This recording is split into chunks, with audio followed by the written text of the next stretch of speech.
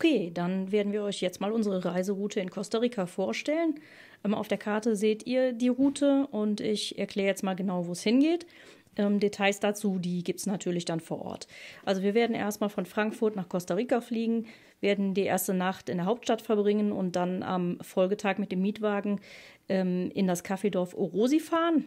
Das liegt äh, im gleichnamigen Orosital und dient erstmal so ein bisschen zum Akklimatisieren ähm, vor der Reise in dann doch etwas äh, wärmere und schwülere Gegenden. Ähm, Im Orosital gibt es den Tapanti Nationalpark, den wollen wir dann an einem Tag besuchen. Ein Schutzgebiet im Bergregenwald bis Nebelwald und das wird so unser Einstieg in Costa Rica sein. Dann geht es weiter nach Boca Tapada. Das ist eine Urwaldregion in der karibischen Tiefebene. Die Karibik lassen wir ja im Prinzip aus, also zumindest die Küstenregion, aber die karibische Tiefebene werden wir eben trotzdem in Boca Tabada erleben. Danach reisen wir in die Vulkanregion Arenal, sind da noch zwei Tage und werden dann am Arenalsee vorbeireisen Richtung Rio Celeste. Den wollen wir uns noch anschauen und von dort dann weiter nach La Cruz reisen. Äh, La Cruz ist ähm, im Norden Costa Ricas, im Trockenwald an einem angestauten Fluss. Und äh, da werden wir dann drei Tage verbringen und von dort weitere Ausflüge machen. Die Ausflüge werden wir aber vor Ort, das werden wir vor Ort entscheiden, was wir genau machen. Da gibt es äh, so viele Möglichkeiten, da werden wir dann während der Reise von berichten. Ähm, nach diesen Tagen in La Cruz äh, werden wir dann ins Schutzgebiet Monteverde und Santa Elena fahren. Auch da sind wir wieder zwei Tage. Und anschließend geht es dann an die Pazifikküste nach Uvita.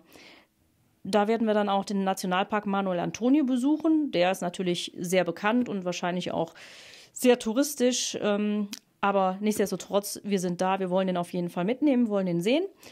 Und ähm, da sind wir dann auch noch mal drei Tage in der Region, bevor es dann nach Drake Bay geht. Das ist quasi das Tor zum Corcovado Nationalpark.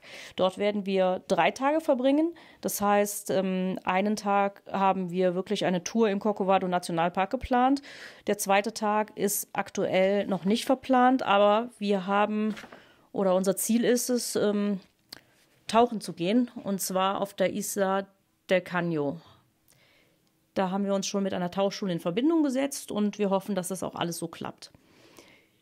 Ja, und von da geht es dann leider nach drei Tagen auch schon wieder langsam zurück Richtung Hauptstadt. Wir werden den Rückweg antreten und werden dann noch äh, zwei Tage im Tal des Göttervogels sein. Das äh, ist San Gerardo de Dota. Da verbringen wir dann, wie gesagt, noch zwei Tage, bevor wir dann wieder in die Hauptstadt zurückreisen, das Auto abgeben und dann aber noch eine Nacht ähm, in der Hauptstadt verbringen. Ja, damit wir so ein bisschen ähm, uns auf den langen, langen Rückflug vorbereiten können. Und das wird dann unsere dreiwöchige Rundreise durch Costa Rica sein. Alles weitere erfahrt ihr dann vor Ort.